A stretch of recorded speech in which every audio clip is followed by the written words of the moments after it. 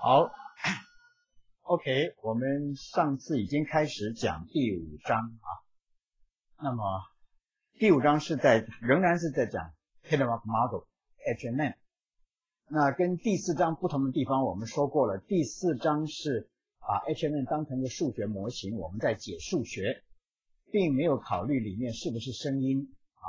啊，就是在在解数学，因为 HMM 其实是可以用在很多不同的问题上，并不是只只拿来做声音的。那当它是一个这个数学题目在解数学而已。那其实第四章我们也假设每一个进去的 vector 都是 independent，我们并没有假设它们有关系等等，也没有当它们是声音。但是呢，那个弄完之后呢，我们第五章开始呢，我们要考虑它当它是声音的时候怎么弄。怎么做？用声用这个来做声音。那我们说过呢，这个声音的单位有大有小，从片语、词、音一直到一个分音等等。那最小的单位是所谓的分音。分音是什么？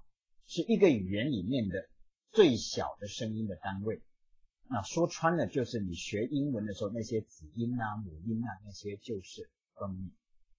啊，有一个音标能够标它的，那是那种音的，那种声音的，那就是一个分音。分音应该是最好用的单位，因为它可以拼成任何的字词句，所以呢，我们会喜欢用最小的单位，可以拼成任何我们所要的东西。可是有个很大的问题，就是所谓的 context dependency，也就是说呢，每发发你发的任何一个音。必须是靠那一堆唇齿舌构成的口型，使得气通过那些口唇齿舌的口型所产生的那个声音。可是你从这个风音变成另外一个风音的时候，你不会一瞬间变成另外一个，一定要很 smooth 的变过去。所以呢，使得每一个音必必然会受到前面前后音的影响而改变。这就是 context dependency。因此，你每一个风音的的特性都会因为前后音的不同而有所变化，这就是 co-articulation。所以我们说呢，t to target 这些 t 都是不一样的，因为你发这个 t 的时候，你已经要朝向 e 或者 u 或者是 r 的方向，嘴唇嘴嘴巴已经朝那个方向移动，所以你的这些 t 都是不一样的。同样同样的 it at 这个也是不一样的，等等。那么如果这样子一来的话，你就会变成很复杂。那么我们这个这个上周说到呢，在这个情形之下，我们要考虑的声音这个 model 能不能 train trainability，其实就是说我能不能有够多的 data，因为我们的每一个 model 都是统计模型，要有够多 data 才能 train。我要希望它能不能精确的描述要的那个那个。要的声音，譬如说一个 word，譬如说 programming，好多个音拼起来，你能不能精确描述它们？然后呢，我能不能 generalize 到所有的新出现的词、新出现的字词句都能够做到等等。后来发现最好的方式是所谓的 triphone，triphone 并不是三个风音连在一起，它只是为一个风音做的 model。那一个风音呢？只要前面后面是接的不一样的，就算不一样。OK，也就是说呢，我是为那一个风音做一个 model，可是那一个风音呢，只要前面后面接的不一样，就算不一样，这叫做 triphone，不是三个连在一起，是一个。那因此它只是做中间那个风音的那个 model，可是前面后面都要考虑进去。那这时候有很大的问题就是。数目非常多。假设一个语言有六十个风音的话呢，你就有这么多种。你每每一个这样子的 triphone，你可以想象每一个，譬如说啊啊，这是一个风音，不过它前面后面各接。假设我有五十个风音的话，假设我那个语言有五十个风音，不多了。可是呢，这边有五十种，那边有五十种，光是这个啊就有两千五百种。那同样的呢，这个波呢也有两千五百种，那这样总共多少呢？就就是两千五百啊，再乘以五十，那这个数目会极为庞大，而且很多会很难找到够多的 data，也就是这个 trainability 构成很严重的问题，会找不到够多的 data。那因此怎么办呢？我们希望能够这个 trainability 跟 accuracy 做一些 trade off，做一些妥协，做一个 balance。那也就是说呢，我可能可能让某一些 state 也许共用它的 data 来 train，某一些 model 让他们共用什么等等。那这样的观念，也就是我们底下要说的是，因为你如果真的要为所有的这么多每一个 t r i p h o n e 都找到够多的 data，是几乎不可能的事。那么，因为这样的关系，我们要做这件事情，但这件事怎么做呢？有点复杂，所以我们底下开始要讲的。那么最后我们是要用 decision decision tree 的方式建建一棵一棵的树，然后用那些 tree 来帮忙做这件事。但是为了要做讲那棵树呢，我们需要这个。当然，做树的方法有很多种，不过呢，entropy 是一个比较普遍使用的观念，所以我们要解释一下 entropy。为了要解释 entropy 呢，我们就我觉得最好的办法就是从 information theory 开始讲起。啊因为这样的关系，所以我底下呢会先讲一点 information theory，用它来说明 entropy，再用 entropy 来说明 decision tree。那用了 tree 之后呢，在最后再来讲它怎么来做 transform。那前面这些东西虽然好像都还比较跟声音比较远，但是前面这几样事情其实都是非常有用的好观念啊，用在很多领域不同的问题上啊，你也可能在别的课学过因此呢，我觉得在这边说一说是蛮好的，所以呢，我们就顺便说一下这些东西。第一个要讲的就是 information theory。那这个东西是博大精深的学问，我是没有要说很多，我只是说它里面的最基本的一个 point，用它的 point 来带到 entropy 就好了。好，那我讲的是什么呢？就是假设，假设我有一个 information source，这是一个这个某一种制造 information 的源啊，这个 information source，它不断的会产有 information 产生出来，m1、m2 等等。那么 mj 就是第 j 个，每一个是一个什么？你可以想象是好像是个 random variable，或者说是一个 event。那么它可以是有 m 种可能的，比如 x1 到 xn，这个大 M 就是总共有多少种可能？总共有这么多种 outcome。那当然每一种 outcome 有它的几率，就是 p of xi。那也就是说呢，如果我看到的某一个某一个这个其实是 xi 的几率是多少？那这些几率加起来应该是等于一，而且每个几率应该是正的。这样讲有点抽象，你有点觉得不知道在讲什么。那我们用底下这一页一个很简单的例子：大 M 如果等于二的话，只有两个很简单。也就是说，我们刚才讲的是每一个这个东西，就是每一个它可以看成是一个 random variable。也可以看成是某一个 event，那这东西有有两种可能。我们刚才这边是有大 M 种可能，我现在只有两种可能。那这两种大 M 就等于二，那就是因此我只有 x 一 x 二，那就是什么呢？就我们就说它们分别叫零跟一好了。你可以想象，如果只有两个的话，我可以称称这个为零，称称这个为一，我只是给它取个名字叫零跟一。如果这样子的话呢，我那个 inference 是什么？其实就是产生一串零。那这样你就很容易了解了，就我产生一串零跟一，而每一个呢，我们叫做一个 bit，每一个我们称为叫做一个 bit。什么叫做 bit？应该是叫做 binary digit，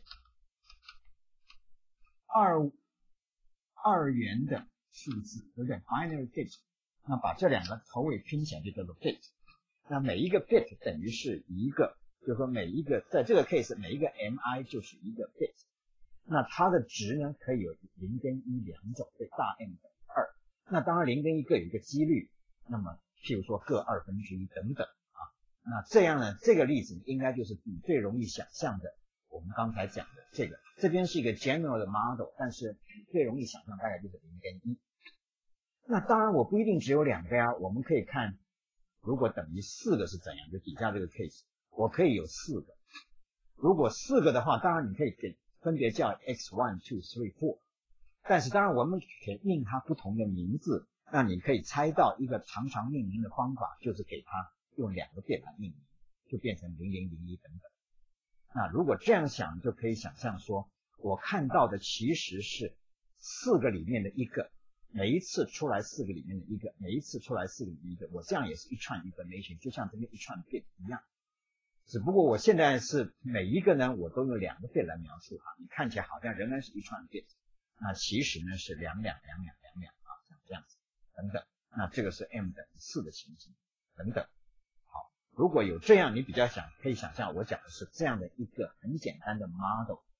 那你可以想象，其实是譬如说我在打电话的时候，我听到的这个这个啊，我的朋友，你打手机的时候，我的朋友说的话。那那一个一个声音出来，不管那个是一个一个字，还是一个词，还是一个什么出来，就好像一个这种东西一样，或者一个一个的 vector OT 出来也可以啊，你都可以想象它们都是这样的东西。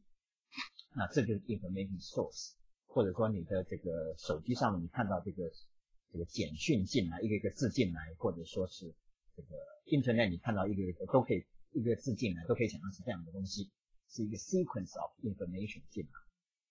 好那在这里我们讲一件事情，就是当年发发明 information theory 的人，他说我们应该可以为这些东西定义一个 information 的量，也就是说，如果你看到这个东西，这个 m1 等于某一个 xi，你看到这是一个 event，就是说某一个 m 某一个 mj 是等于 xi 的话，那我到底看到多少 information？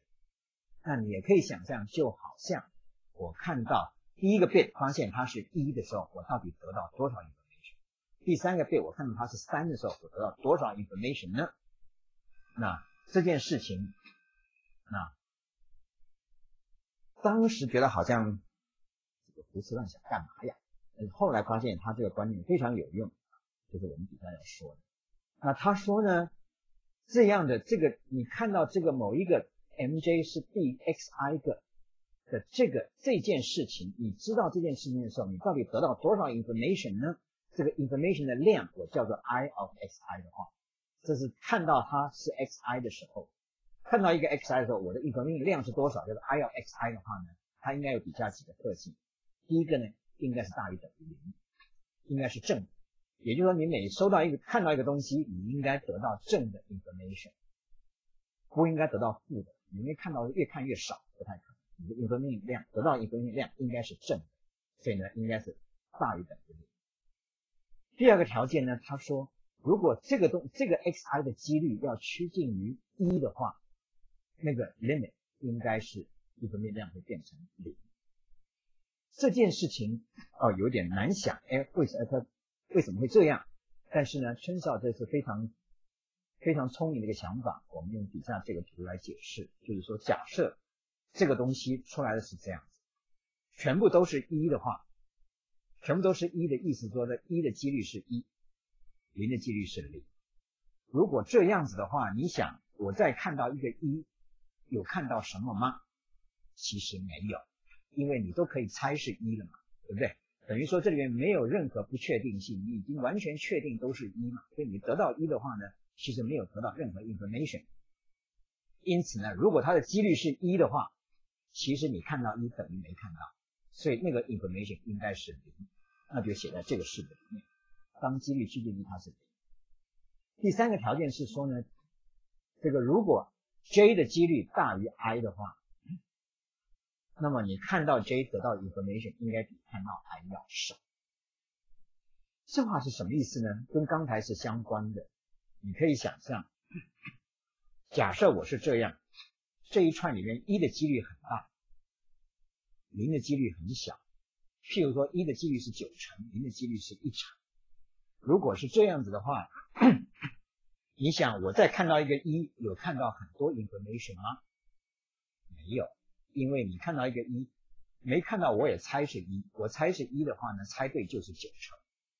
所以呢，我我反正猜一猜对就是九成的话，我看到一个一呢，没有看到多少，反而呢，零是很珍贵的，零是难得出现的，所以你如果看到一个零的话，你是看到很多，因为你不敢随便去猜那是零，你猜那是零，九成是错的，对不对？因为这样的关系呢，你就知道呢，几率越大的，你看到 information 越小；几率越小，你看到 information 越越大。那这个观念就是推论第三个式子，或者说它应该是一个 decreasing function，是一个递减函数，而是 function of 几率。那第四个比较难想象一点，就是说呢，这个 information 量应该是可以相加加成的，也就是说，你如果看到这个。得到多少 information，再看到这个得到多少，再看到得到多少，你一路应该是加起来的，你应该应应该一路往上加，而不应该说是没有加，因为 information 量是会加的啊，这这四个条件，在这四个条件之下呢，他就说，哎，其实这个方程很简单，我们就写 log 的几率分之一就好。那 log 的几率分之一是什么？你知道，就是负的 log 几。负的 log 基于什么呢？就是这张图所画。那什么意思？那你一定知道 log 的方程长怎样。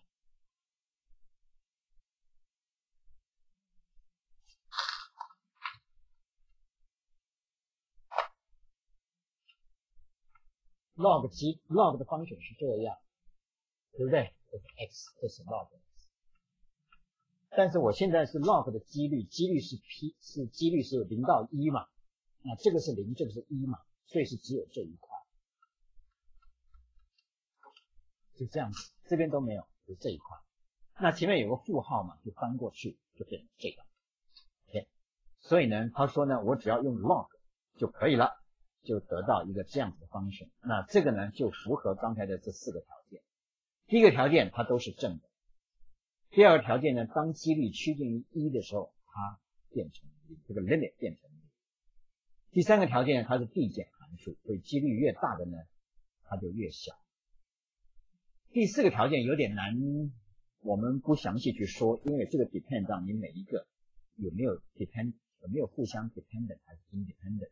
不过我们最简单的想法就如果都 independent 的话，就很合理。为什么？假设零跟一好了。各是二分之一的话，看到它是一是二分之一，看到它是零也是二分之一。如果这样的话呢，看到一跟零的呢，就是二分之一的平方就是四。看到三个，第三个如果是不管是零还是一，又是二分之一，三次方就变成八分之一。所以呢，就是几率在如果 independent 几率就是相乘，取了 log 之后就是相加。所以呢，那这边就会变成是一路加上去。OK。那当然，如果不是 independent 就复杂了，我们这边就不说了。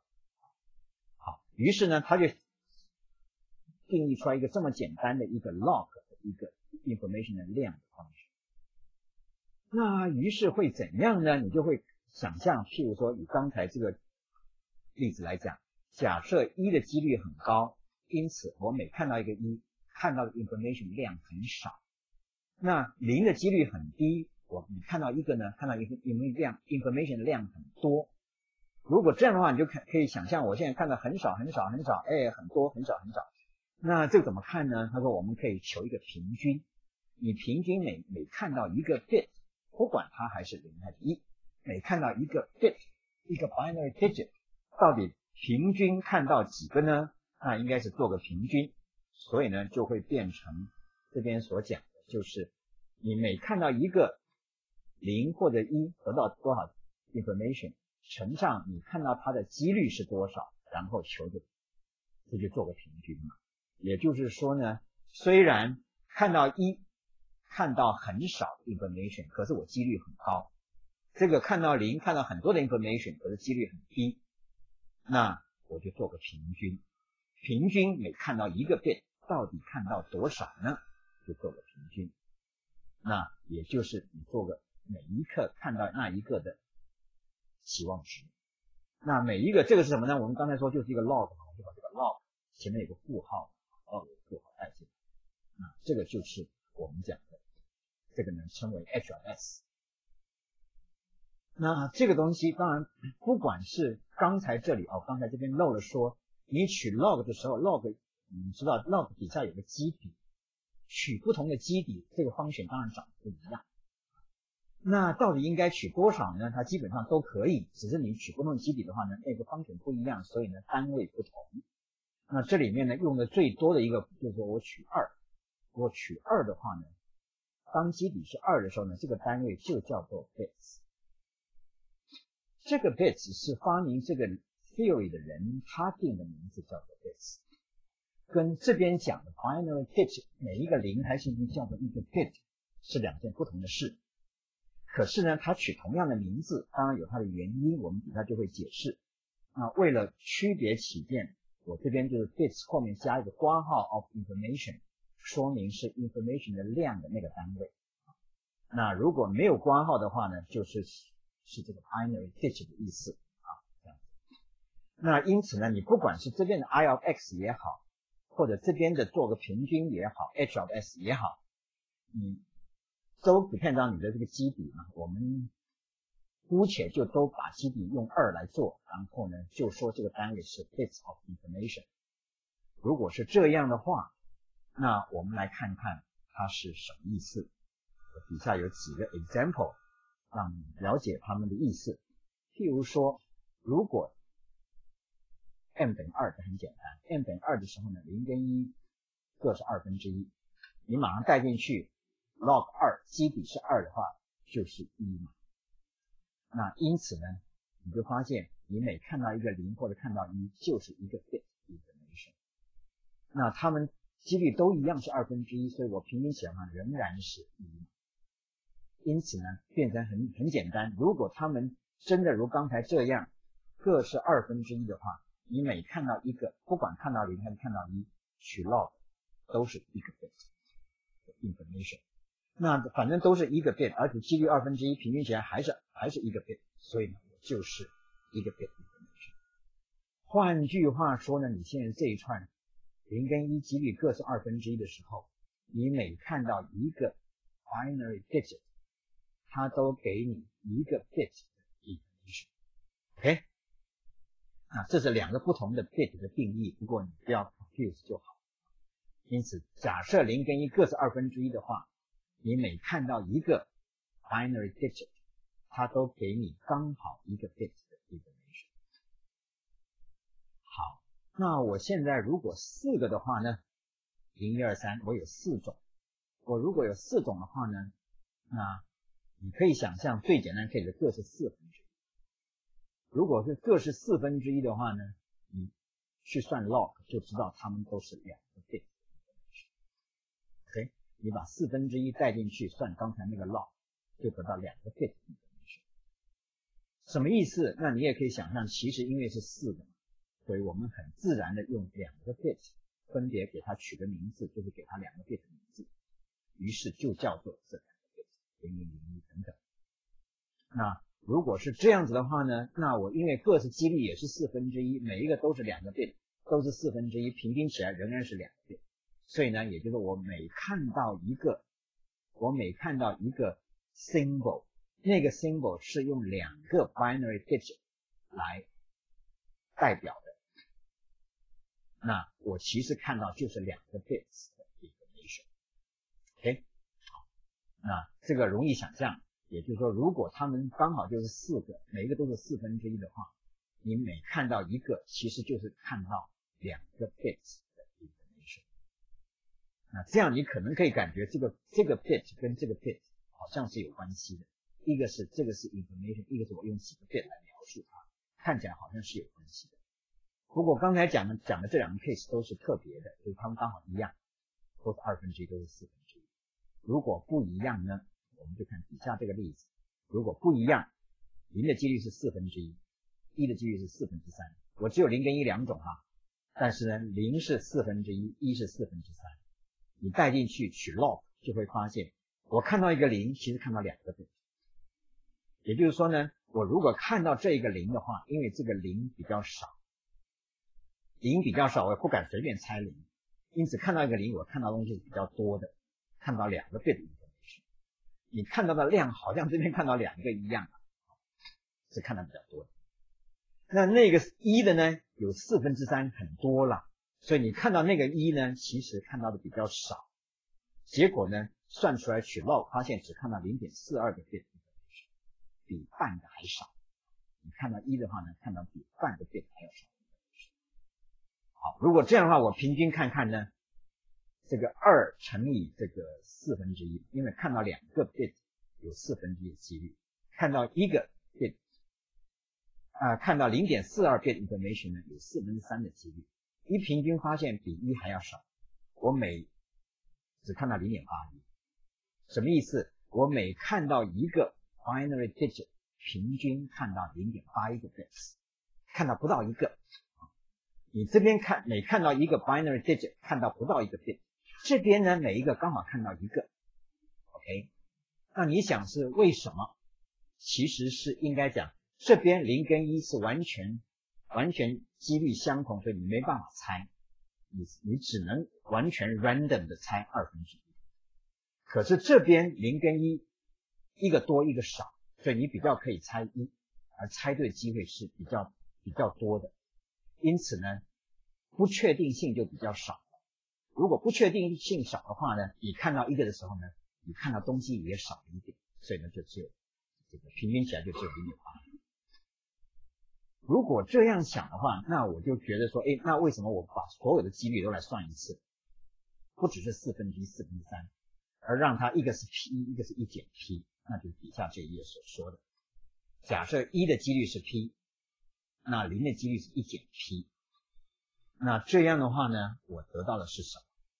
那我们我们就可以以 p 为横轴画一条画出一条曲线来，纵轴就是平均，就是刚才得到这个平均，刚才在这边平均，这边是一个 bit，这边是零点八一的这个平均值，就是 h of s，也就是我们这边讲的。这个平均的 h of s，我把它画一张图的话，就得到这张图。那从零，我让 p 从零变成一。我们刚才看到，如果各一半的话，二分之一、二分之一的话呢，就是这一点。那它们各是二分之一的，我得到就是一个 bit。你每看到一个，就相当于零跟一各一半。零如果是这种零跟一各一半的话呢，我看到的就是。每看到一个，都看到一个 bit。那我们刚才也说过，如果全部都是一，就是 p 等于一，这个等于零。全部都是一的话，等于没有 information 一样。所以结果你得到呢就是零。那这一点呢是全部都是零，全部都是零也你也等于看不到任何 information 也是零。那中间这其实当我这个 p 变化是一条连续的曲线是这样上来的。我们刚才讲的就是零点七五跟零点一五，四分之三跟四分之一，我得到是零点八一，它是这样下来的。也就是说呢，在这里的时候呢，这个一多零少，因此我猜一是可以猜对一定程度的。我有一一些个确定，有一些个确定在那里啊，我可以猜，可以猜到一点。所以我看看到一个看到少一点，就没有看到一个变，只看到零点啊一个等等。好那这样的结果呢？我把全部画出来得到这样，你会发现呢，其实也就是说呢，当零跟一几率各一半一半的时候，是最 random、最无法猜。那我得到了看到一个的时候，information 量是最大的。然后呢，越稍微开始过来一点，就开始可以猜了，比较有办法猜了，有一些 information 给我了。所以呢，我。就是说我根据几率，我可以猜到一些 information，所以呢，我每一次看到一个得到一个就比较少了，慢慢减少，慢慢减少，等到完全确定就变成零了啊，这样的一个 function，这是如果零跟一两个的话，如果两个可以了解的话，那你想三个会是怎样呢？我们底下举个例子，就是三个，假设说我就零，我就一二三有三个。一二三有三个大 M 等于三，那姑且给他们名字，一个叫零，一个叫叫零一二。那我们也可以说它的几率，一个叫 P，一个叫 Q，一个叫一减 P 减 Q，这三个加起来要是一。那在这个情形之下呢，我就有这三个，因此照说呢，这个那个值怎么画？应该画在 PQ 的二维的平面上。哎，PQ 二维平面有有点难画，所以我们先。固定一个 p 值，这比较简单一点。我们先固定，假设 p 是某一个定值，然后呢，我只改变 q，所以 q 就是从零到一减 p。如果是这样的话呢，我们来看看会怎样。假设这个是 P 值是固定的，让 Q 是零到一减一的话呢，那这一点呢就是 Q 是零，因此呢剩下那一个是一减 P。那这边呢是反过来，Q 是一减 P，剩下那个是零。那在这两个情形呢，其实啊你可以想象，除了这个以外呢，别的东西都蛮像的。这条 curve 跟刚才的这条 curve 是长得非常像，在中间这一点达到 peak，什么这一点呢？刚才是一半一半，那现在呢是可以改变的部分一半一半，也就你 P 是固定的嘛，那剩下这两个里面呢要一减 P 一半一半，如果这样的话呢，这是最大。然后呢，如果越往这边的话呢，就这个一减 P 呢越来越小，越来越小。到这边的时候呢，它变成零，就是最小。那这边的话呢，是它这个一减 P 越来越大，到这边的话呢，变成它是零，就在这里。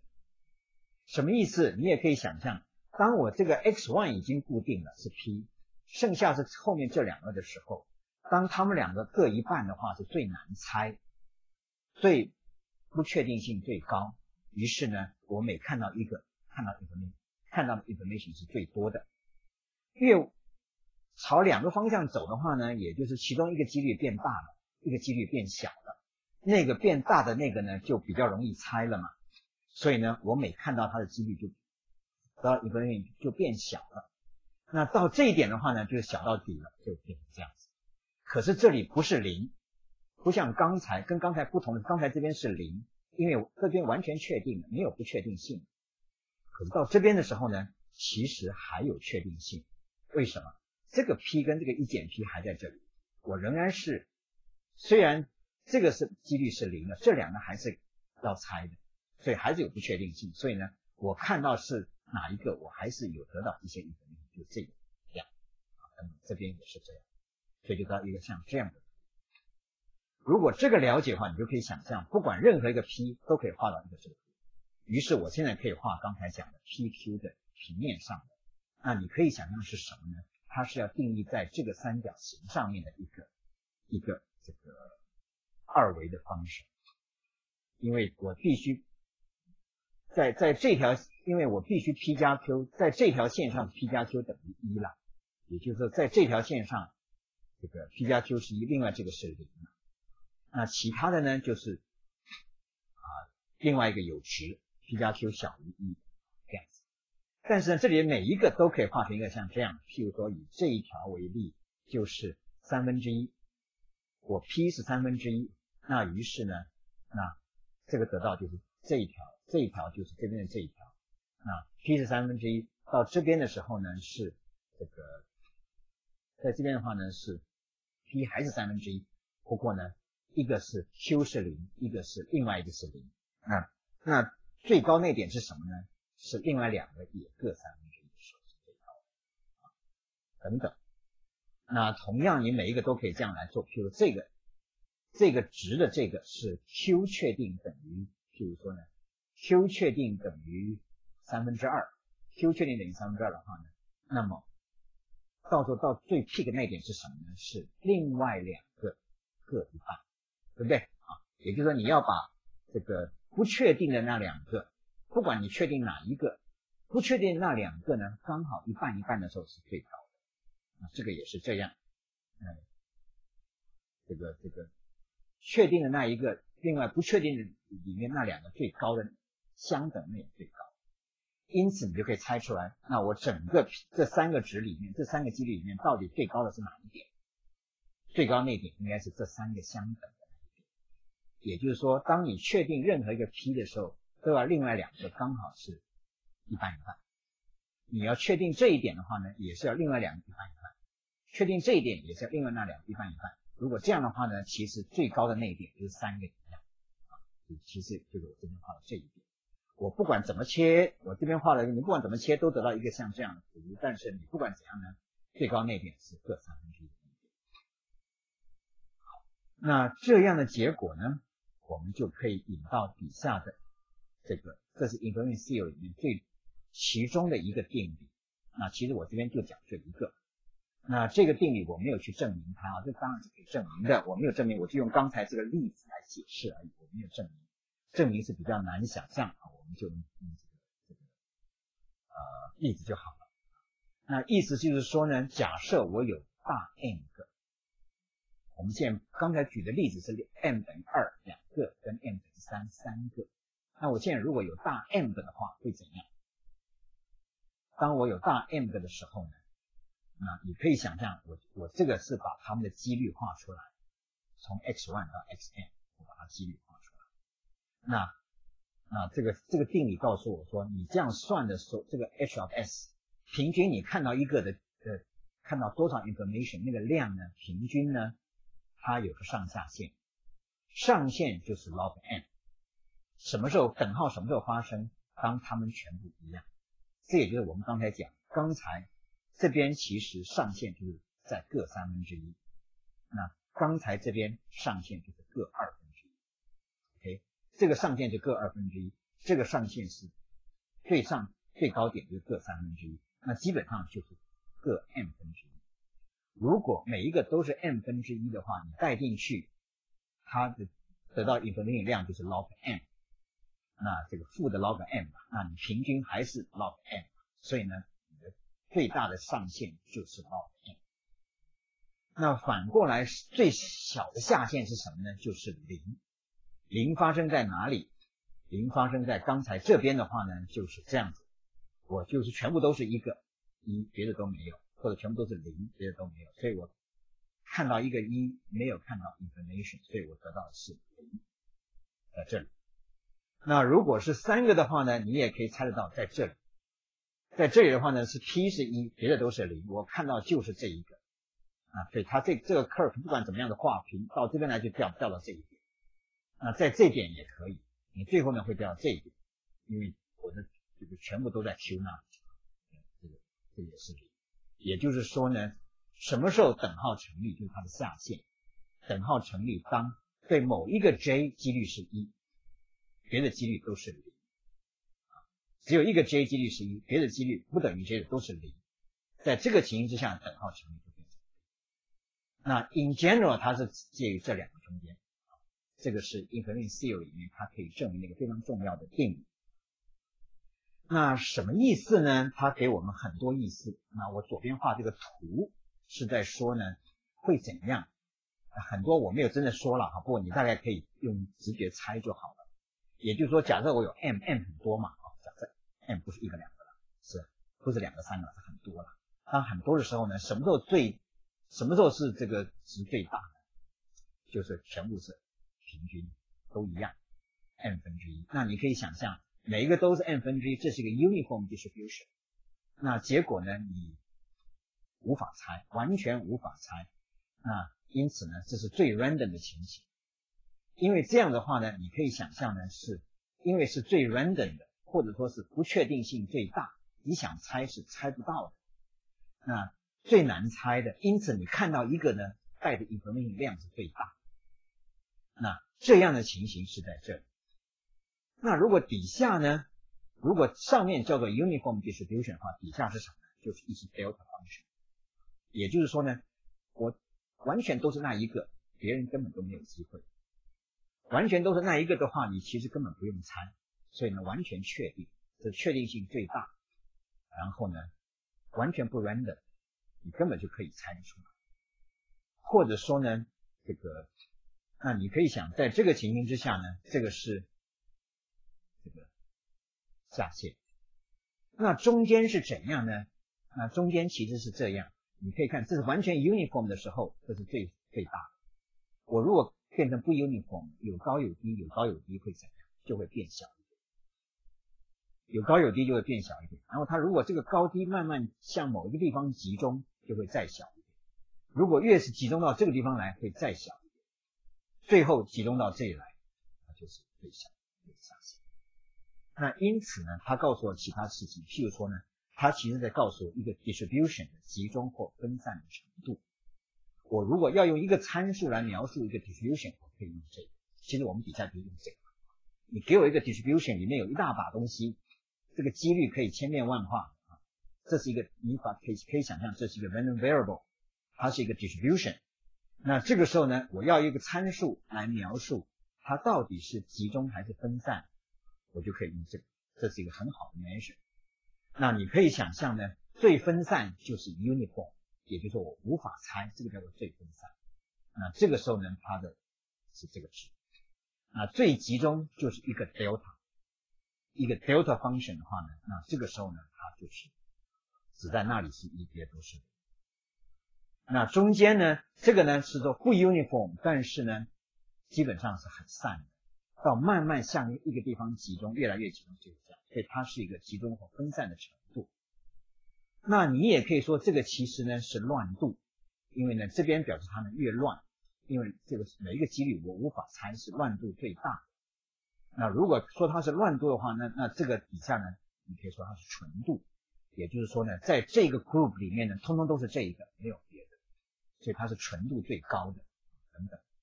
那你可以想象有各种各样的意思，把它用在各种各样的地方。所以这个东西很好用，在很多不同的领域、不同的问题里面都用它。来作为一个类似这样子的 measure，一个参数可以告诉我很多意思。那因为这样的关系呢，我们给它取了个名字，这个名字呢叫做 entropy。啊，就是我们在这边一开始这一页就有说呢，它叫做 entropy。什么叫 entropy 呢？这这个字原来是热力学的名词。你如果学大一的普通物理，可能学过热力学里面有讲到 entropy，就分子在里面跳动的。entropy，它其实公式长得跟这个一样，它其实就是一个这两个东西相乘，结果变成什么？变成一个 p log p 了，就是说几率一个几率的 log 再乘上那个几率自己等等，然后全部加起来这样的一个东西，在热力学里面也有这个东西，它叫做 entropy，它叫做 entropy，因此呢，在这里也称为 entropy，它是从热力学叫过来，因此呢，我们就以这个叫做 entropy，entropy 是一个非常好的东西。它可以来量一个 distribution 的分散跟集中的程度，或者是乱度，或者是纯度，或者是确定性等等。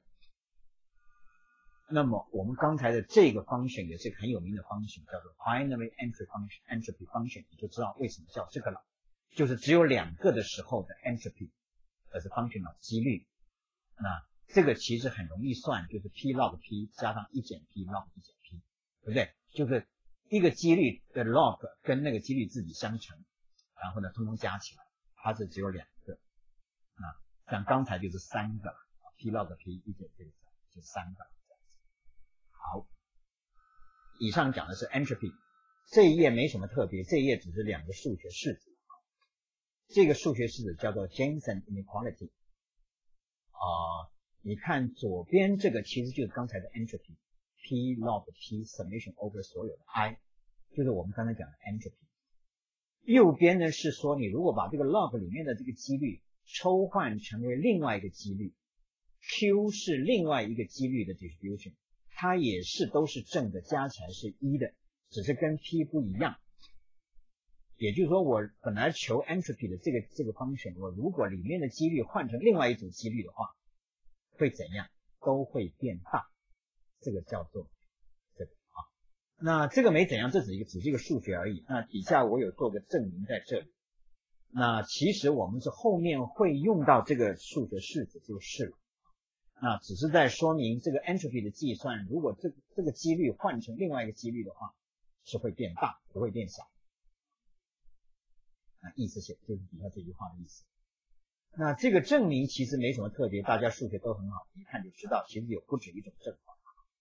这个是其中一个证法，他就说我只要说 log x 永远小于 x 减一就好了。这什么意思？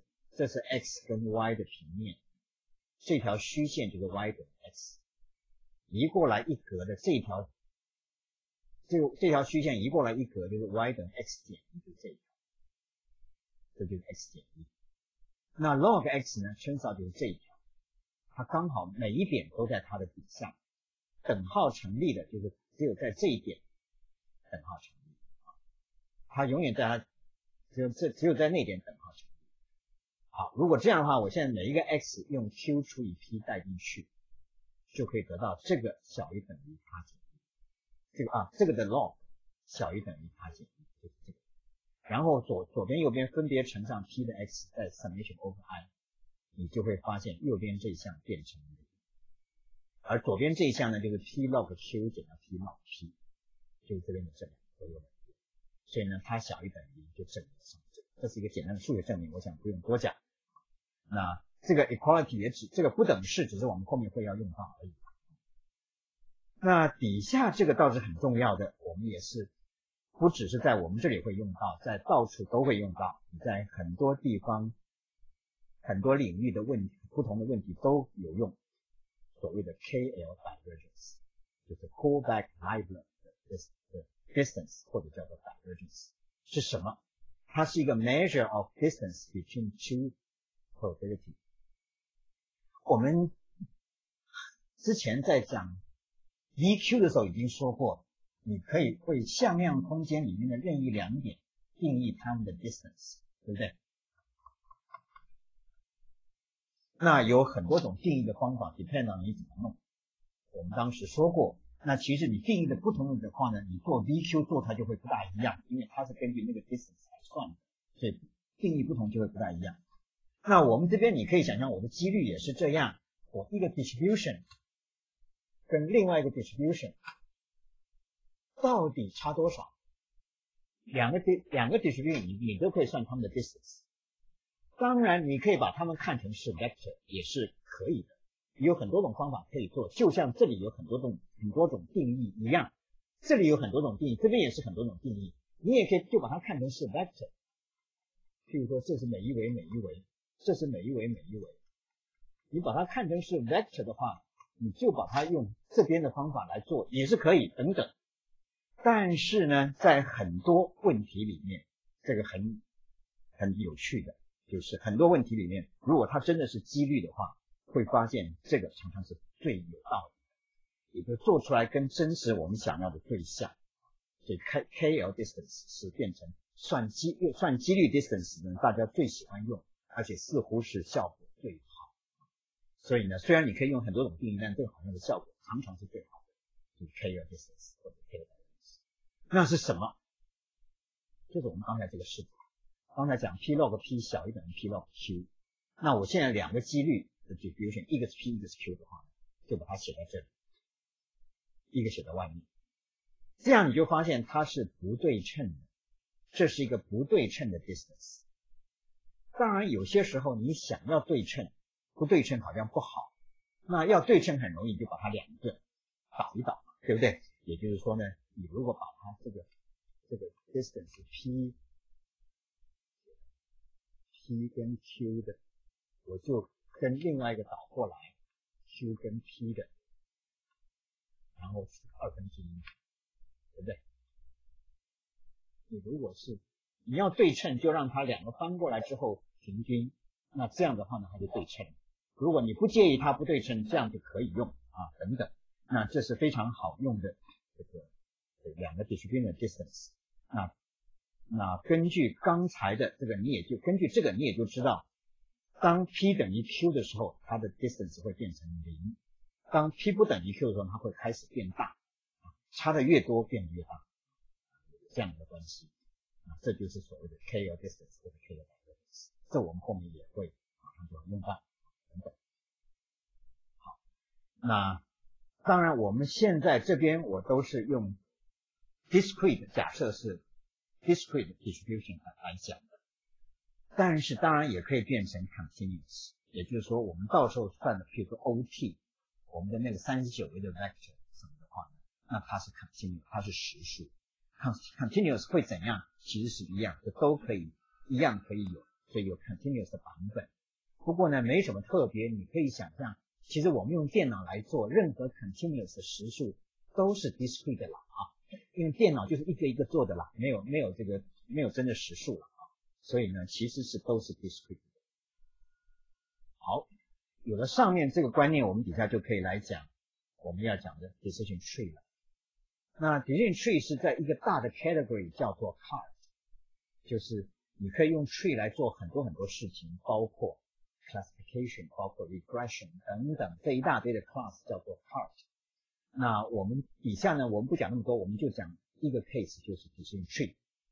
那这个 tree 的观念呢，是 machine learning 里面的某一块，他们分少非常有用，有相当长的时间，一大堆的工作都用这个来做，效果不错的。那我们底下的 try phone 也是要用它来做的。一直到今天最成功的 try phone 其实都是用。那这个的观念是什么呢？我们先举很简单的例子。这个例子呢，假设有个区公所，譬如说我们这边大安区公所，它的区区内的区民有二十万人。那他希望为这区区民根据他们的身高分成五群。那最高的那一群叫做大梯，第二高的那一群叫做小梯，然后。身材中等的叫做 M，那比较矮的呢叫做小 s，那最矮的那一群叫做大 S。他希望把这个，譬如说大安区的二十万的区民分成五群，根据他们的身高，然后呢，在区公所里面呢有每一个人的个人资料，譬如说年龄啦、性别啦、姓名啦、职业啦等等，就是没有身高。如果有身高，我就根据身高就分了嘛，对不对？但是我没有身高，那怎么办？我要根据这些，因为这些姓名啊、年龄啊、什么这个职业啦，有的可以跟身高是有 correlation，但是不是直接的，不是必然的。那你要根据这些 information 来判断，分成这五大群。呃，这个 case 其实是 classification，因为我说分成五类，根据身高分成五类。那怎么做呢？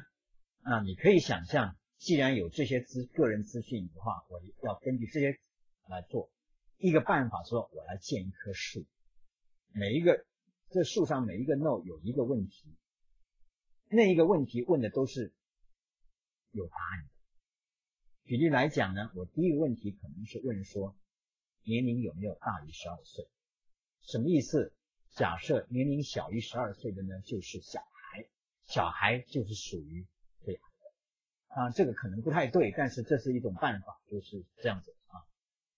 OK，年龄小于十二就是小孩，就是最矮的。那然后呢，剩下里面呢，我先看他的职业是不是职业篮球队。如果他的职业是职业篮球队的话呢，哎，那他显然是最高的。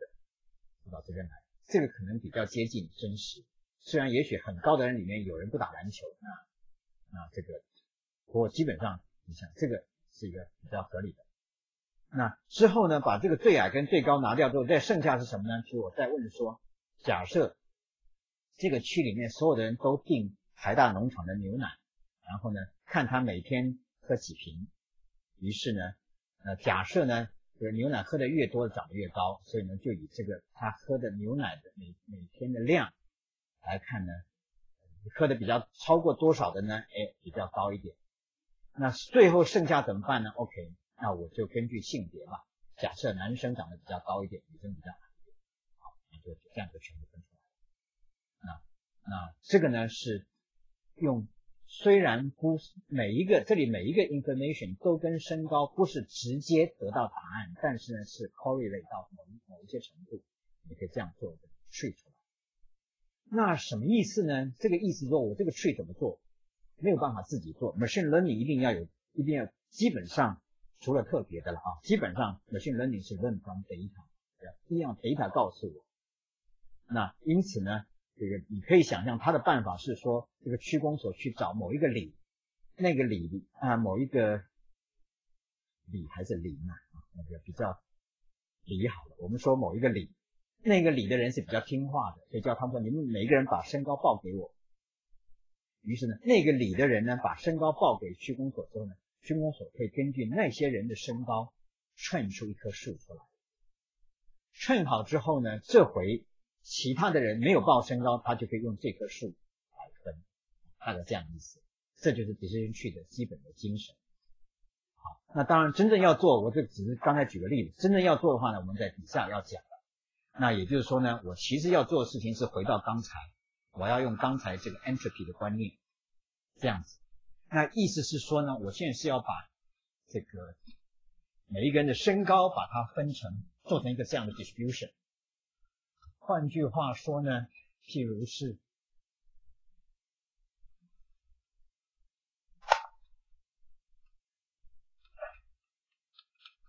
等等，譬如说，譬如说第一格是从一百九十一百一九五到两百。啊，第一格应该是两百以上，对不对？还是两百一十什么之类了啊？你可以每每一格，比如说五公五公分一格等等等等等等啊，然后看啊看它到底是多少，然后就得到每一个人的几率，每一种身高的几率，对不对啊？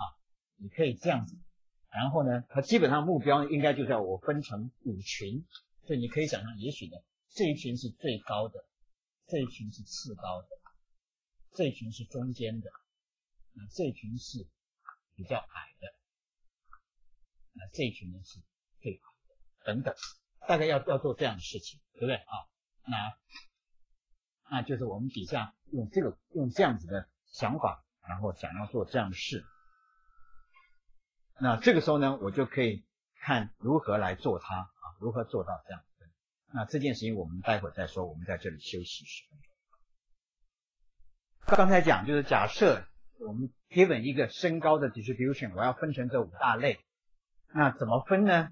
那我如果在某一个 node 叫做 n，我用某一个问题 yes or no 把它拆成 a 跟 b 两两群的话，会怎么拆法呢？那你可以想象，如果是真的有一个很好的举例来讲，他是不是这个职业篮球队的的这个球员？如果是的话，能不能这样一刀切下来？如果这样的话是最理想。这样一刀切下来的话呢，就会变成左右两群。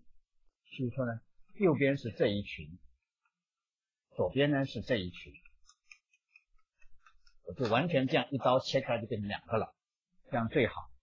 可是事实上可能不是的，因为也有的是可能这个呃身高很高，但是他不打球；也可能身稍身高稍微矮一点，但是他技术很好，他也做职业篮球队员。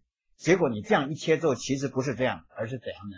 这边也少一点啊，这边也呃，这边也少一点，这边也有一点啊，这边也会有一点，你结果得到是这样子啊，并不容易这样找到一个这样可以切的，你可能就切成这样，那就我这边所画的意思，也就是说呢，我们的目标是希望这样一刀一刀这样切下来，但是你想切这样一刀不容易，如果真的这么好的这一刀可以切成这样，左边一半，右边一半。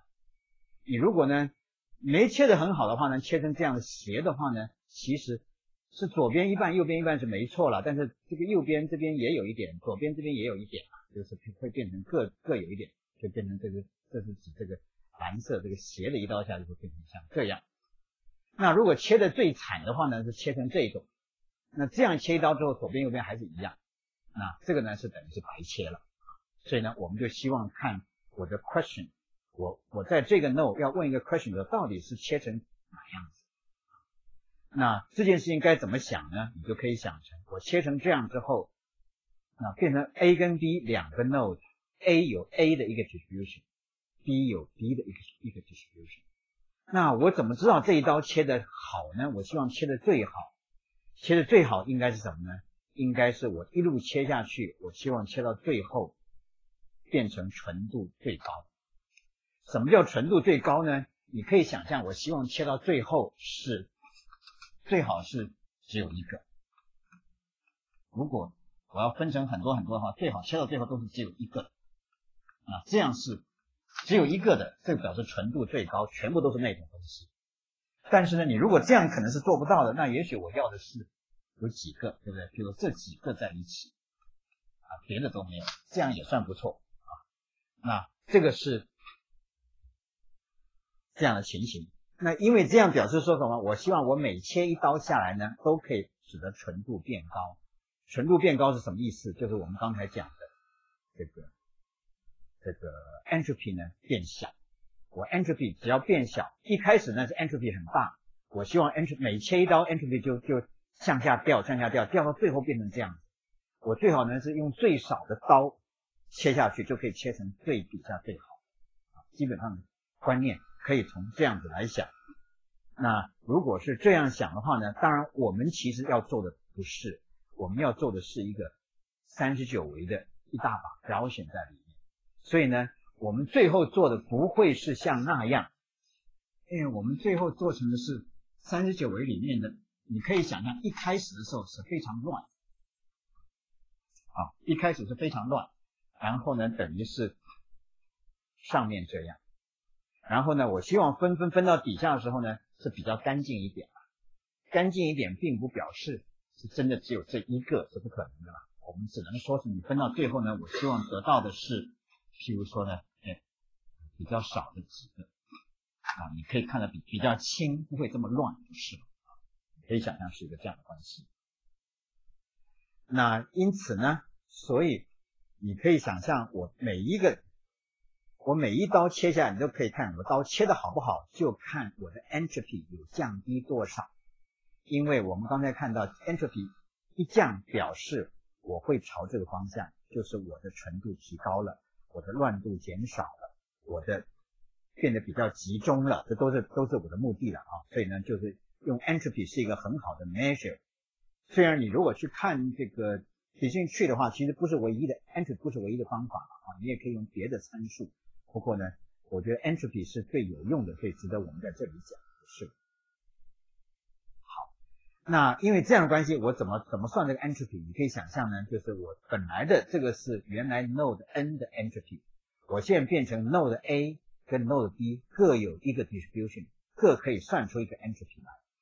所以呢，照说我好像应该是像这样，那就是说呢，这个在 node n 有一个 n 的 entropy，我切成 a 跟 b 之后各有一个 a 跟 b 的 entropy，那我希望这一切这样切完之后呢，我的 entropy 降低了，降低的 entropy 呢就是 delta h，也就我在这一刀切下去的时候呢，我就是我这一刀切下去的话，我就降低 entropy 降低多少，于是呢，我就可以选择。假如说我有一大把 question 在那里，就好像是身高啊，这个啊，就就好像是是职业啊、性别啊什么东西的话，那你就可以根据这个来判断说，啊，我到底是应该先选哪一个？应该每一次都选 entropy 降低最多的那一个啊，且啊，基本上是这样观念。可是你如果仔细想一想，发现有点问题，为什么呢？我们假设说。假设说原来是，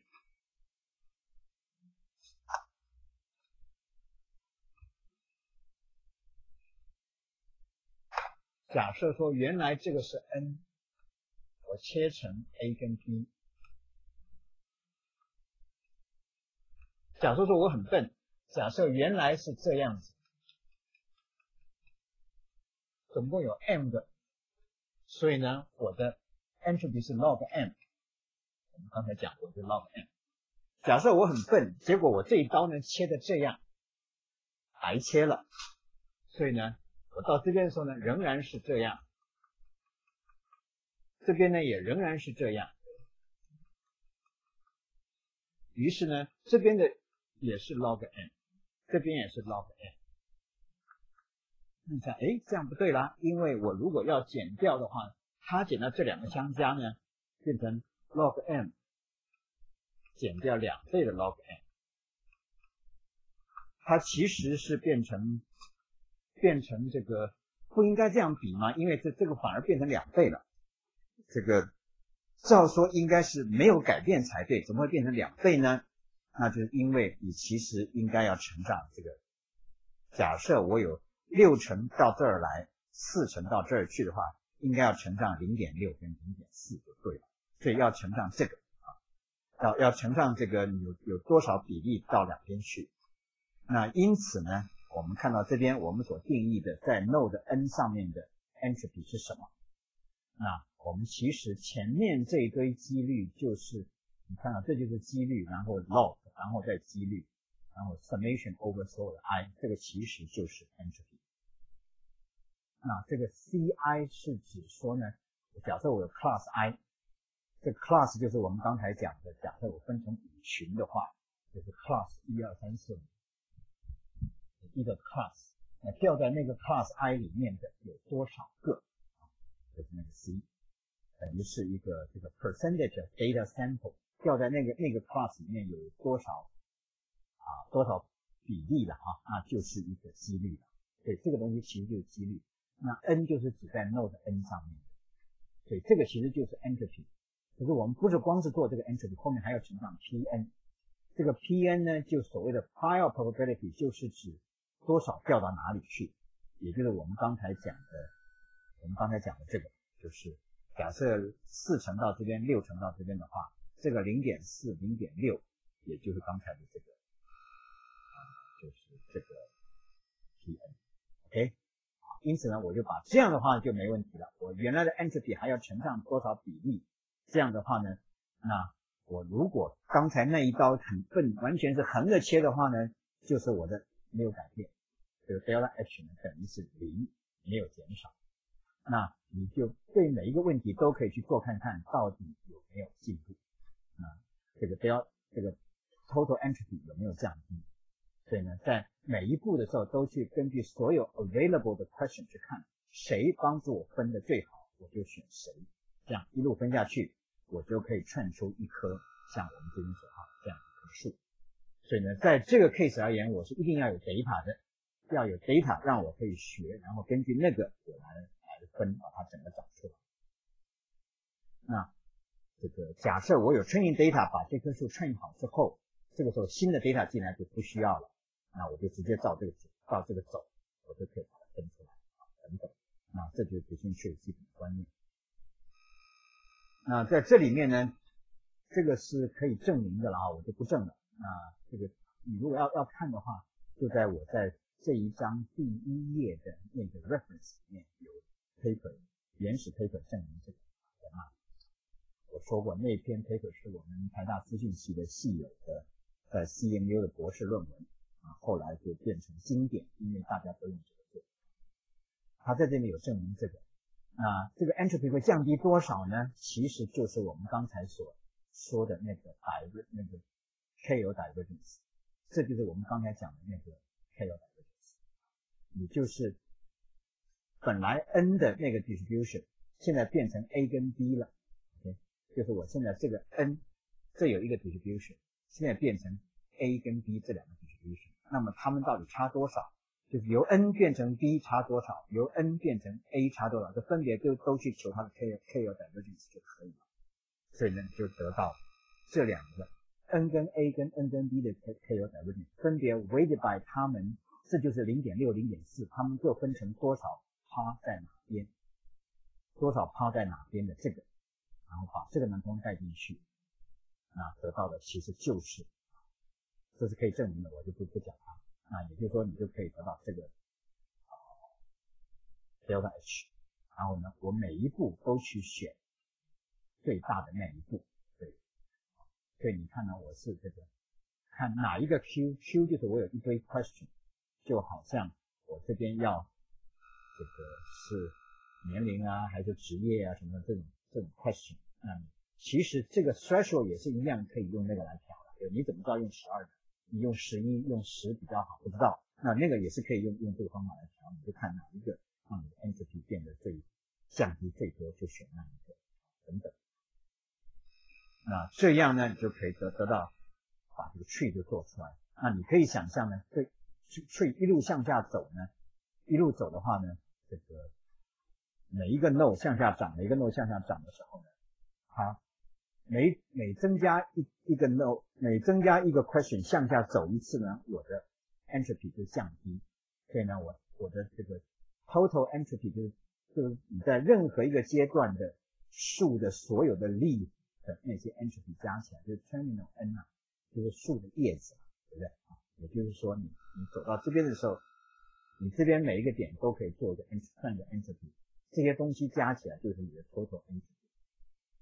那那你凡是一路往下分的话呢，应该它就一路降低，看你要降到哪里为止，这样子。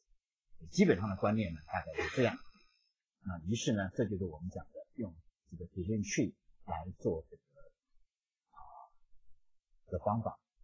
好，有了这个之后呢，我们现在可以回过头来讲，我们要讲就是讲 try phone。Try phone 是怎么做的呢？try phone 你可以想象，我们刚才提过，就是。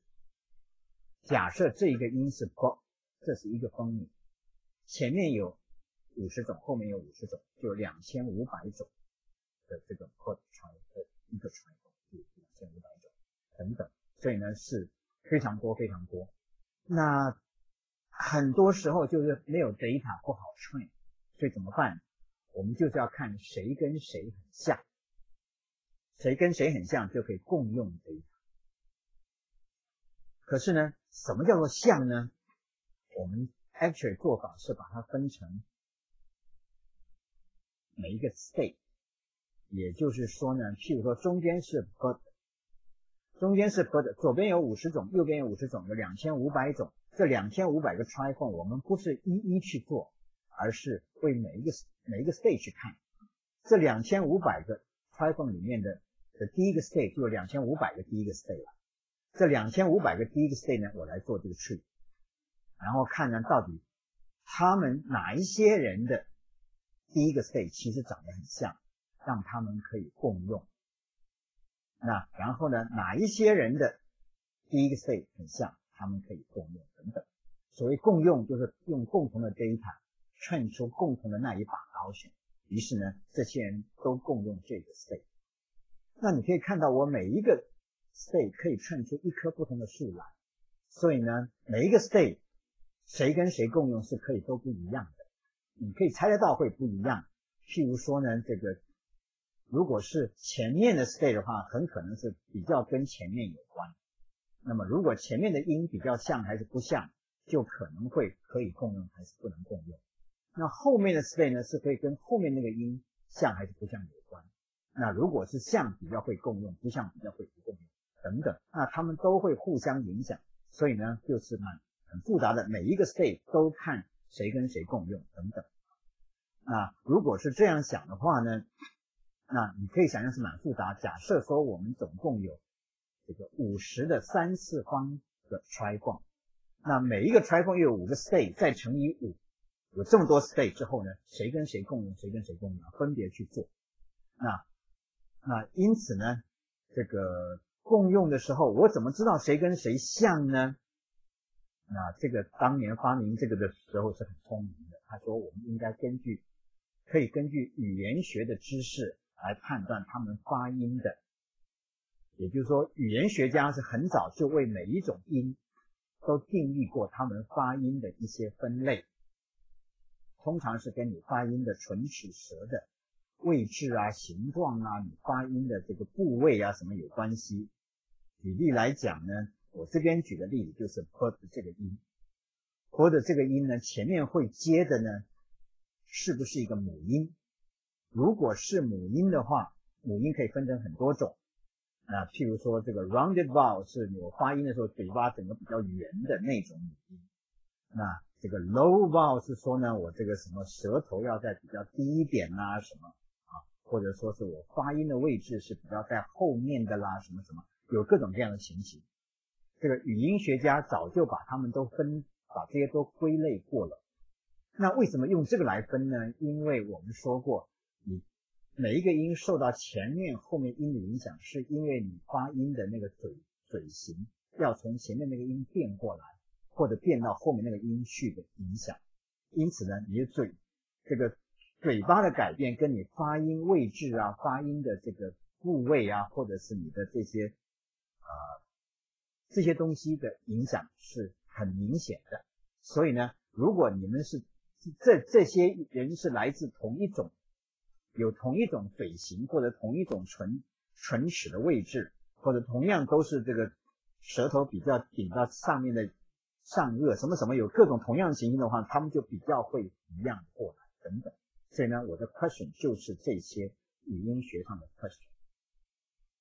这个一开始做的时候是用英文做的，那英文当时他们最少做一百多个 question，就是把语音学里面有一百多个 question 来，那也就是说我这边的时候呢是有一百多个 question 可以选。那后来呢做的仔细的话呢，大概可以做三百多个 question。那后来别的语言跟着学，像我们做华语也是，把英语的这套 question 拿来，然后再对应到华语里面去看哪些 question 可以对应等等，然后我们课程华语大概也是粗的话一百多个 question，细的话呢三百多个 question，这样子。于是我就可以每一个每一个来做。那这个时候会怎么做呢？你可以想象，就是说同一个中央，同样的缝是中央这个缝的，中央这个分米是一样的时候，我就先兜在一起。譬如说，同样中央是波的，我有左边有五十种，右边有五十种，就有两百五十啊两千五百个。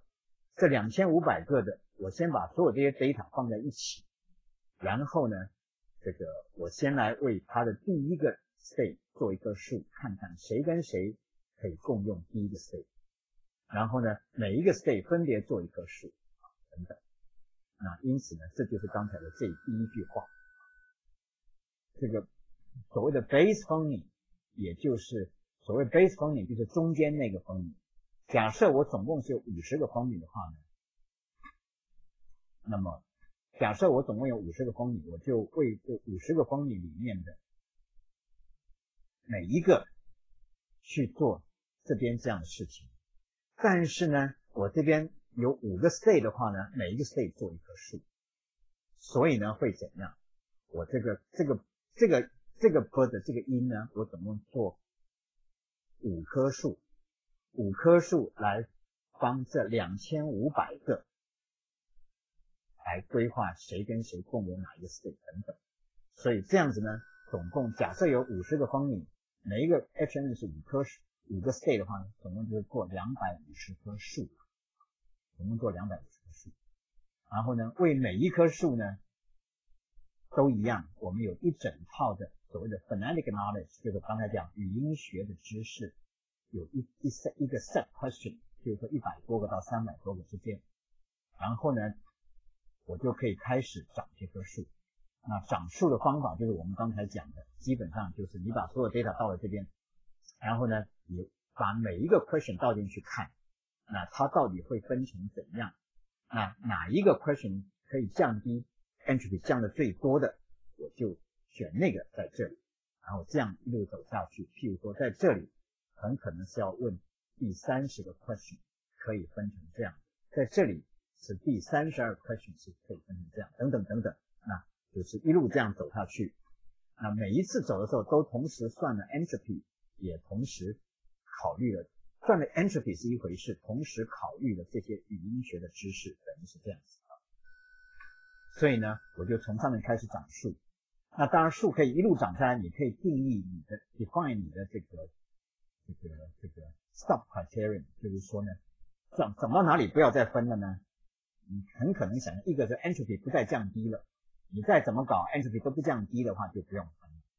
或者是搞到最后之后，你已经只剩下多少 data，data 少到一个程度也不要再分了，等等，这样你就可以把它长成某一棵树的样子。那这样之后呢，一方面就是所有有 data 的人就已经知道谁跟谁可以共用。那你可以设定不同的条件，譬如说，如果这边 data 每一个 group 到最后总是 data 太少，就不再分下去，所以到最后这个 terminal 这里的 leaf 的地方 data 都够多所以这些 data 就是共用的共同来衬出一把你要的刀绳啊你要多少刀绳可以衬出来。那这些人就共这这些人这个 state 就共用这个刀绳等等。啊这个就是我们这边所讲的就是这个啊你凡是这个 dosinmixture distribution 然后呢他们就可以 tie together sharing the same training data 所谓 tie together 就是 share 的意思嘛，啊，也就是说呢，这些绑在一起了，那这些人绑在一起，他们的 data 共用，我衬出一组 Gaussian 来，他们就共用那组 Gaussian。那凡是有 data 的人已经知道在那里，那还有很多 trifon 可能根本没有 data。那这个通常是会的啊，我们通常你你用了几十小时的 data 来，很可能发现里面有一半的 trifon 都根本。那因此呢，没有没有 data 怎么办？我就从这往下走，也知道它到哪里去。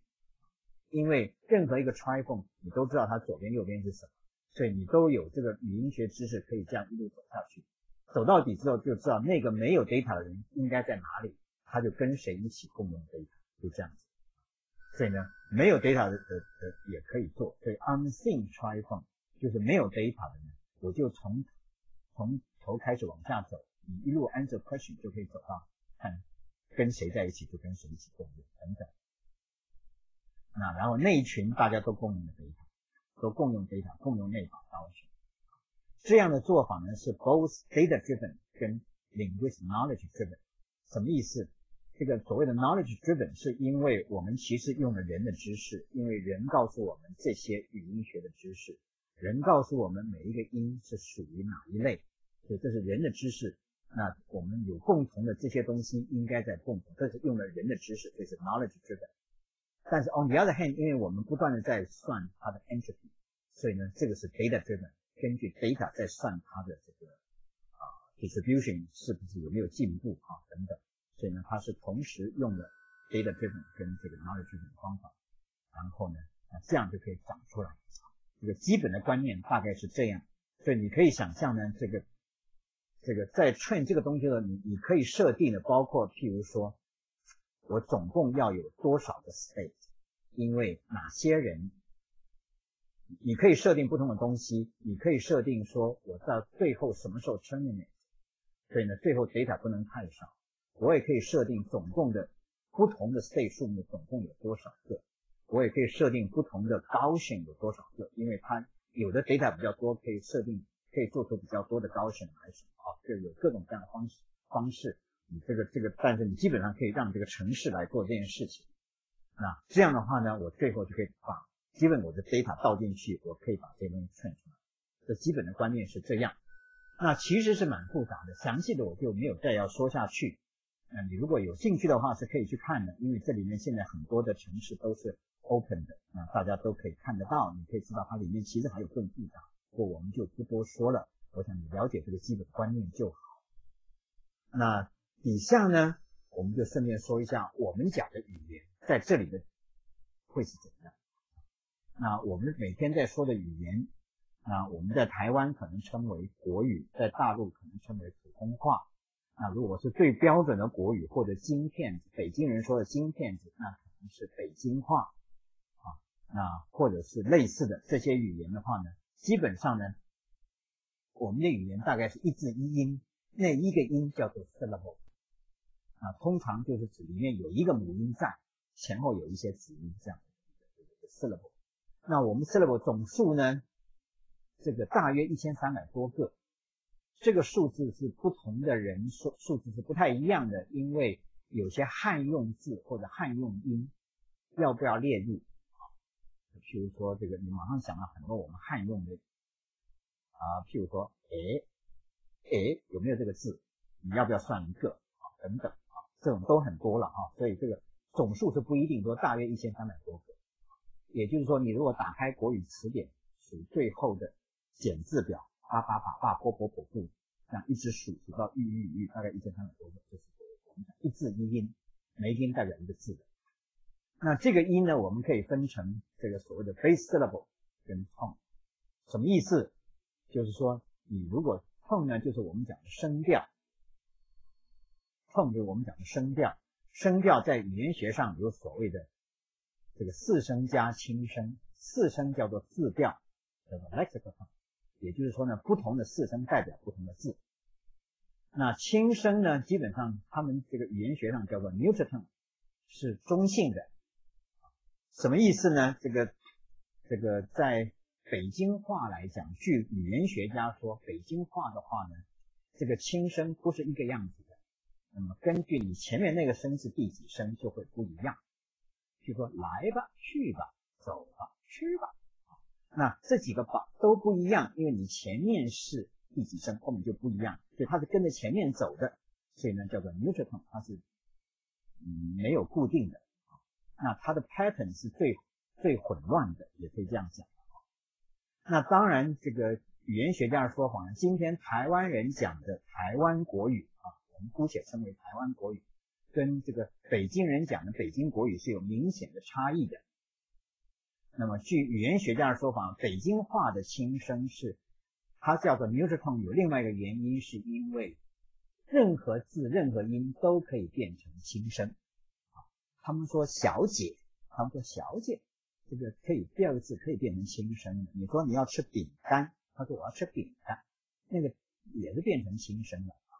那你如果去看这个大陆所拍的一些电视剧的话，你容易感觉到这种差异。譬如说呢，这个清宫里面叫王爷，这个啊不是王爷啊，然后呢叫奴才，不是奴才啊。那他们后面字都会变成轻声的啊，也就他们什么人都可以变轻声的，所以这个是北京话。但是呢，据语言学家说呢，今天台湾人说的轻声其实只有二十多个，仅限于语助词啊，也就是说这种哩啦、什么啦啦、什么妈啦，就这种啊，仅限于这种。所以台湾人讲的轻声仅限于这种，大概总共二十多个。其他的字呢，台湾人已经不会把它们念成了。所以这个是不同的语，这个语言学家的说法，语言是活的语言，也就是它自动在变的。然后呢，只要四周的人怎么说，它大家就会受到影响啊。这语言是会动的。那这个这个，那那你也可以晓得，譬如说这个台湾人讲的，跟大陆有明显差异的地方，譬如说呢，我们台湾人会说爸爸妈妈。那大陆人这样讲呢？妈妈、爸爸啊，那是大陆人讲啊。所以这种你这这个一看这个电视剧，你就知道这是哪里拍的啊等等。这是题外话。不过基本上呢，就字讲声调就讲痛。那因为这样，对声轻声不是第五声，我们通常轻声是另外一种声调啊，是这样的意思。所以呢，这个 lexical 字字调的意思是说不同的痛代表不同的字。那么因此呢？我这边把它叫做这个 base syllable，四百多个，什么意思？就是不计声调的话，就是四百多个。然后呢，把声调算进去，声调是四加一，不是写五，就是因为它是有两种。那我有一个例子在这边看，就是八把把爸爸，我们算 syllable 是算五种，算 base syllable 是算一种啊，所以呢是这样区别。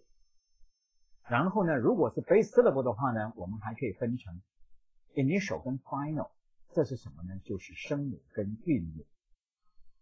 那声母跟韵母，这是早年的语言学家赵元任先生把它翻成英文叫做 initial 跟 final，所以呢，我们就称为 initial 跟 final。不过呢，我把它写成大写，说明它们是专有名词，是指我们声音的声母跟韵母是什么？就是我们注音符号里面的前面一半。那书诗就是声母，乌就是韵母等等。但是如果三个注音符号连在一起怎么办？第一个是声母，后面两个是韵母。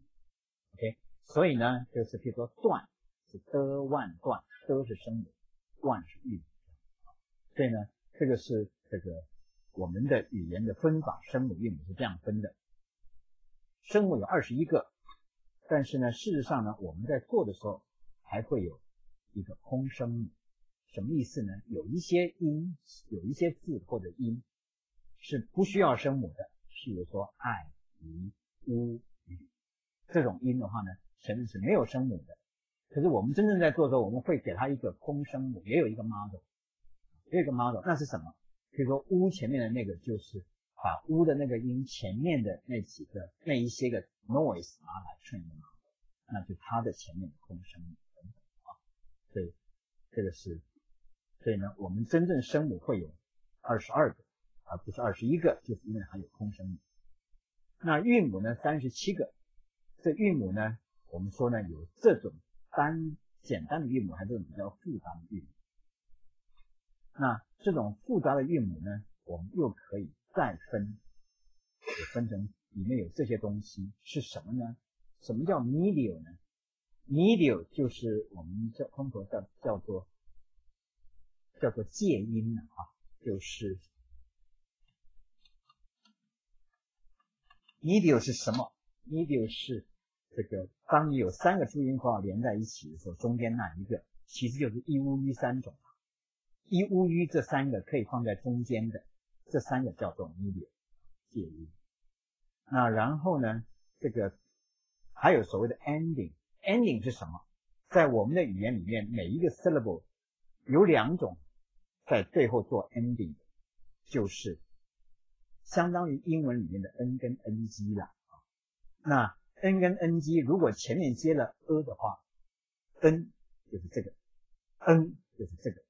如果前面接了 r 的话，an 就是这个，an 就是这个啊。所以呢，我们这四个注音符号是后面是有这个叫做 nasal ending 鼻音结尾啊。那除了这以外呢，没有别的 ending。所以呢，ending 有两种，那 medial 有三种，其他的就就所谓的 nucleus。所以呢，这两个跟这三个都是 optional，就是少数有了，很多是没有的了啊。那这个呢是大家都有的，这个 nucleus 等等。那于是呢，你就得到我们的 final 总共有三十七种，你可以拆成，譬如说你如果是这样的话，就表它不是一个，它是中间是好几个连起来的，对不对？譬如说你看到这个这个呃段。段呢，就是一个的，一个 u，一个 r，一个 n 啊，那这两个连起来其实就是完整 n 啊，你你可以想象是这样，它是这样连起来。那那基本上呢，那在这个 case 呢，它叫做 medium，它叫做 ending，那它呢叫做 nucleus。那如果说是别的比较简单的都的话呢，这就是声母韵母这么简单。好那然后呢？我们刚才讲声母有空声母，韵母也有个空韵母。空韵母是什么呢？就是智齿时日这些东西，子次思啊。也就是说呢，这是真的有声有韵母的。譬如说智，我们就这样写了。其实语言学家说呢，它是有生，它不是只有一个声母哎，它其实是有韵母的。只是呢，当你定义注音符号的那个年代呢，希望最简单，让最多人很容易学得会。所以呢，只要没有 confusion，就不要一个符号。所以呢，这个字呢，嗯，不要符号没关系，没有 confusion，所以我们就不要符号了。所以呢，是也是不要符号了，但是其实都是有韵母的，就好像这个子啊、次啊，这都是有韵母的啊，啊，这叫做空韵母。基本上，他们通常是把 sh ch sh 卷舌的这四个呃共用一个韵母啊，然后 s c s 不卷舌的共用一个韵母，这样就有有两个空韵母等等。那啊，我想这些大概解释了我刚才这张表上所说的东西。哦，对，还有，那如果分成母音子音的话呢，那所有的声母都是子音，那韵母这些东西呢？多半都是母音，不过这个鼻音结尾这两个鼻音是归在子音里面的，所以呢，鼻音是子音。如果要归成分音的话呢，那这里面子音母音都是分音的啊，所以总共大约是三十一个左右。这个数目都没有特别确定，是因为语言学家会有不同的意见。那当你说的很流利的时候，到底哪个哪一哪一段算？这个有的时候会有不同意见，所以呢，大致这样子啊。所以这个是大概我们。的语言，所以呢，我们如果要做 triphone 怎么做？你可以想象 triphone 其实是用这边的是最合适。虽然早年我们常常用声母韵母来做，因为声母韵母总数是很少啊。对我比较会看到。所以呢，我们如果要做华语怎么做？我们早年可以用 initial final 来做，那后来发现还是。做 triphone 用风拟来做 triphone 是最好的。那风拟因为不同的语言学家分的方法稍微有点不一样。那有一种人，这其实这不是语言学家说的，这是工程师说的。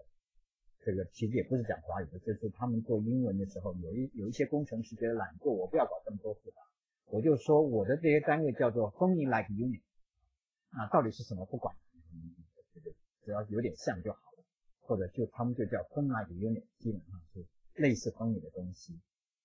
然后呢，你你我们在 train data 的时候是可 train model 的时候可以设定我的 context dependency。譬如说我可以只让它右边不一样算不一样，左边我不管，是所谓的 right context context dependency 的 model。我只只有右边不一样算不一样，左边我不管，可不可以？可以。那么当然，你可以左边右边都管会比较好。那左边右边都管，如果你用风影为单位，就是差不多。那你也可以所谓的 intrasyllable only，还是要有 intersyllable。什么意思呢？举例来讲，譬如说轻声，你如果让它的轻声的结尾那个 n 不影响到后面的声的那个诗，你就假设都不影响，我 train train 的时候都那个都不算了。那这样的话呢，就是 intrasyllable，就是这边讲的这个 intrasyllable only。如果你让它横跨 syllable boundary 也去影响的话呢，那就是 intersyllable 啊等等。所以呢，你这这这个都是你在 train data train model 的时候，你中间可以设定不同的条件，就给它不同的东西，就 train 出不同的 model 来。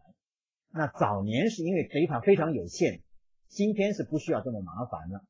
早年在 data 非常有限的时候，我们常常要做这些不同的设定之后呢，想办法做最少数目的 model 还能够 work 啊。举例来讲，我这个例子是我们其实在。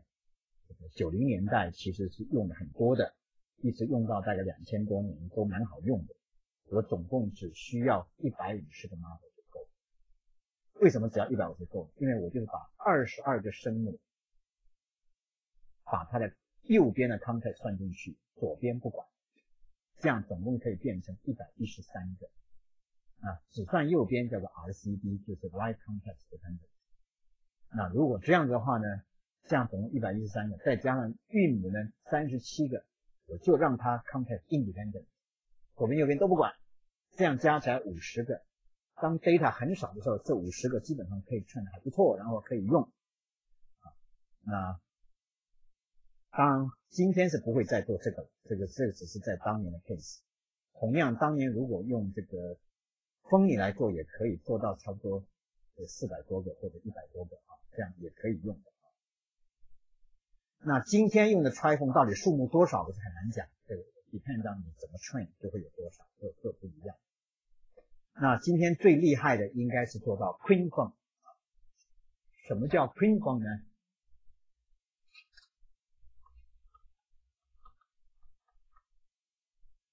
？queen 是指中间这个缝，我右边接两个，左边接两个都算进去。那其实它不只受到左边右边影响，其实在前面那个也影响，在后面那个也也影响，所以前后算五个，这样的话叫做 queen。那 queen，你如果真的有够多 data，这当然很难 train 这个 train 死人。但是呢，有够多 data 好好 train 的话呢，它是比拆分要好。啊，所以这个不同的状况可以做不同的情形。那我刚才这边有一个就是讲。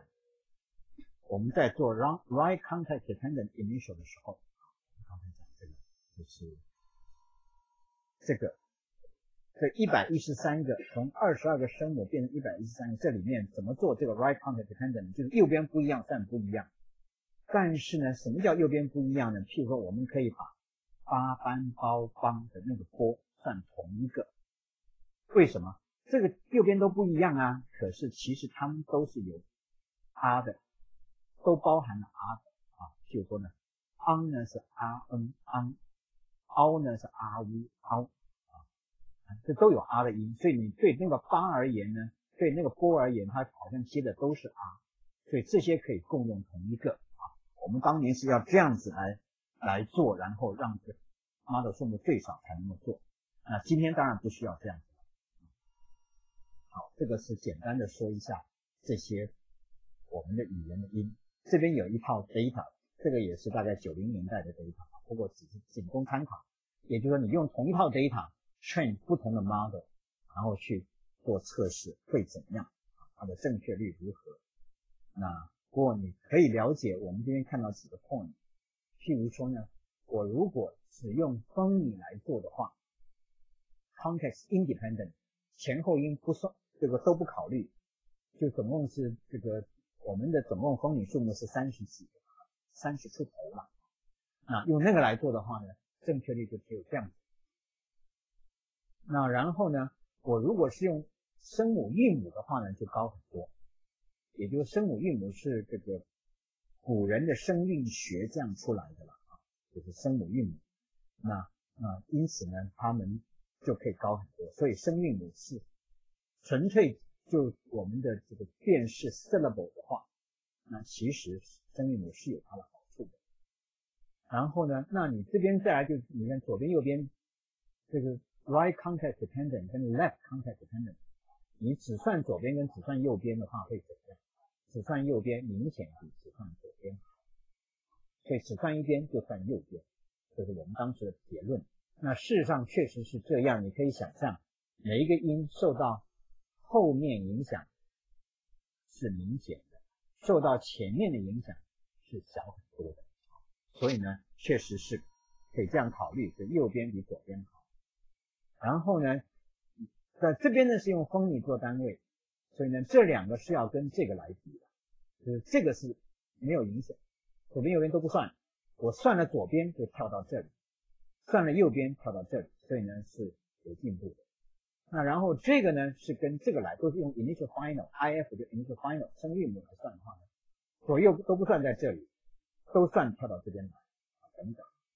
那这一组是相当好用的一组，也就是我刚才说我们在九零年代到两千多年都还常常喜欢用这个，因为这个其实 data 很少就可以称得出来啊，基本上有一定的正确率啊，因为当你总总数那么少的时候，也是比较电视计算量也比较少，所以这个曾经觉得蛮好用的是这这。那这个 demi 这个我们现在不讲了，因为这已经没人在用了。那再过来的话呢，刚才这些都没有考虑 intersyllable，以下这两个是考虑 intersyllable，又又会上去。所谓 intersyllable 就是我们刚才讲的，你如果让轻的后面的 n 影响到声，让他们都有关系啊。那前面那些是都让它切开来，假设不受影响，让他们都受影响的话呢，那可以。就是可以到这边来啊，就是 inter 的。那最后这一堆都是 triphone。那 triphone 其实里面有一些学问，有不同的方法可以得到不同的结果。那最好的 triphone 在这里，最最好一一组 triphone 在这里。那这个大约是原来的风米的几乎是两倍。也就是说呢，你完全不考虑左右，大约是这样子。这样左右都算进去，也是可以到即将近两倍。这个说明大概这些大概写在底下，包括说呢，你如果直接看的话呢，声韵母是不错的，但是呢，你有 context dependency 永远是比较好的。然后呢，你你只算一边的话，右边比左边好。有 intersyllable 是会比较好，triphone 当然更好。不同的方法来称 trifon 有好坏。当然最好的呢会是 quinphone，如果你做得到的话，不过 quinphone 是非常难做的。等等，好，第五章到这里呢就告一个段落。